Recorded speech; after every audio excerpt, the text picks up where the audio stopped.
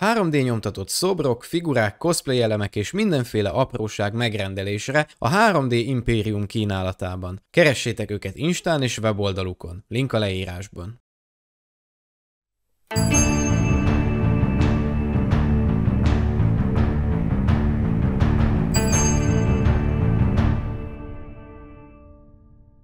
Jelenleg zajlik a D23 Expo, amelynek keretében egyebek között bemutatták a következő élőszereplő Star Wars sorozat, a Skeleton Crew első előzetesét, de, de mi is pontosan ez a sorozat? A Skeleton Crew egy John Watts fejéből kipattant széria, akit legtöbben az MCU-s pókember filmek megalkotójaként ismerhettek. A forgatókönyvet Christopher Ford jegyzi, aki számos projekten dolgozott már közösen Wattszal, beleértve az első MCU-s pókember filmet, a hazatérést. A széria a Mandoverzum sorozatai közé tartozik, tehát a Jedi visszatér után körülbelül 5-6 évvel az új köztársaság korában játszódik. A történet középpontjában egy csapat gyerek áll, akik rátalálnak egy lepusztult hajóra, az Onyx Cinderre, amit véletlenül beindítanak, ezáltal pedig egy nem várt kaland közepébe csöppennek. Azt egyelőre nem tudni, mennyire szorosan kötődik majd a sorozat a Mando verzum többi részéhez, az viszont biztos, hogy a Mando harmadik évadában látott Nikto kalóz, Vane és legénysége felbukkanak majd a sorozatban, egyes korábbi plegykák szerint pedig a történet egy része az Ahsoka-ban látott másik galaxisban játszódik majd, ahol a Peridea bolygó is is található.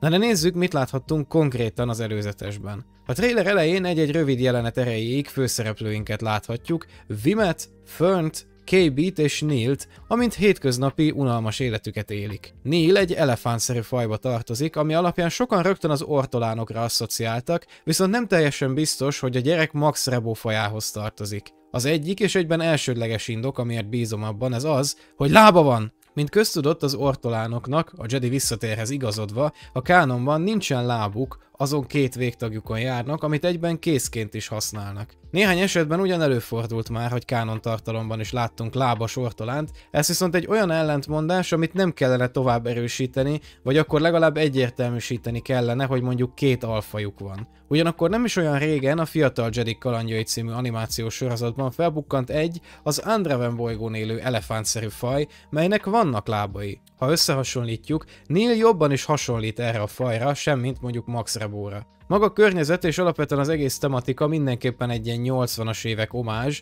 olyan filmeket felidézve, mint például a kincsvadászok. Olyan történetekről van szó, melyben az átlagos kertvárosi életet élő gyerekek rátalálnak valamire, aminek révén egy nem várt nagyszabású kaland részévé válnak. Ennek a korszaknak a nosztalgikusságát használta ki, illetve idézte fel például a Stranger Things, vagy a 2017-es Az adaptáció is, a Skeleton Crew pedig a Star Wars-ba igyekszik ezt belecsempészni. Itt a hasonló történetek ikonikus helyszínének az amerikai kisvárosnak egy Star Wars-osított változatát láthatjuk olyan környezettel, építészettel, mely szerintem tök jól összehozható például az Andorral. Ott a hétköznapi ember szemszögéből láthattuk a nagyvárost, Coruscantot, itt pedig ugyanebben a szemszögből egy békés kisvárost láthatunk. Ez tényleg egy békeidőbeli átlagos település, átlagos emberekkel, nincsenek se katonák, se bűnözők, se western, semmi olyasmi, amit alapvetően megszokhattunk a Star Warsban. Suli van, utcák vannak, és a gyerekek, akik itt bica helyett siklóval közlekednek. Mindez viszont megváltozik, amikor egyikük talál egy hajót, az Onyx Cindert, melyről azt hiszi egy régi Jedi templom lehet. Mikor véletlenül beindítják a hajót és a hiperűrbe ugranak, viszont egy számukra idegen, számunkra viszont sokkal ismerősebb világban találják magukat,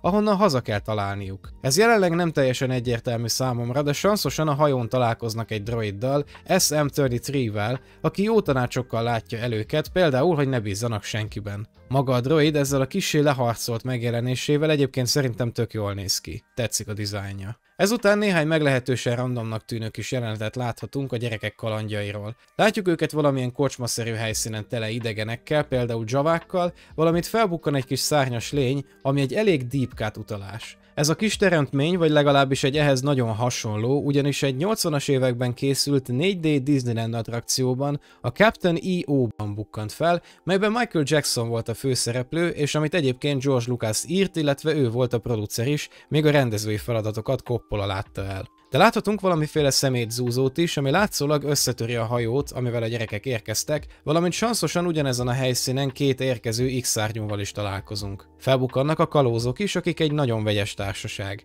Vane egyelőre nem tette tiszteletét az előzetesben, valószínűsíthetően a legénységéből ketten viszont igen. Egyikük a Sistavanen fajba tartozik, ami elsőként az egy új remény első, moziban bemutatott változatában bukkant fel, azóta pedig emlékeim szerint nem is láthattuk élőszereplős formában, szóval én nagyon örülök neki, kedvelem ezt a fajt. A másik egy ilyen bagolyszerű lény, melyről nem találtam pontos infót, gyanúm szerint viszont szintén egy érdekes fajba, a Saráliánba tartozhat. Ezt a fajt eredetileg még a legendás Ralph McQuarrie tervezte, ám a filmekhez végül nem használták fel. A Klónok háborúja harmadik évadához újra elővették ezeket a terveket, de megint kimaradt a végleges verzióból, ha viszont erről a fajról van szó, akkor itt végre találkozhatunk velük. Ezen kívül van még néhány egyelőre behatárolhatatlan jelenet, egy nagy pókszerű vagy rákszerű lényel harcolnak, ami szinte elengedhetetlen lett az utóbbi idők tartalmaiban, illetve néhány olyan jelenetet is láthatunk, ahol harcra is használják a gyerekek az Onyx Cindert. Végül az előzetes azzal zárul, hogy főszereplőink jó eséllyel a kalózok fogságába estek, és Jude Law karaktere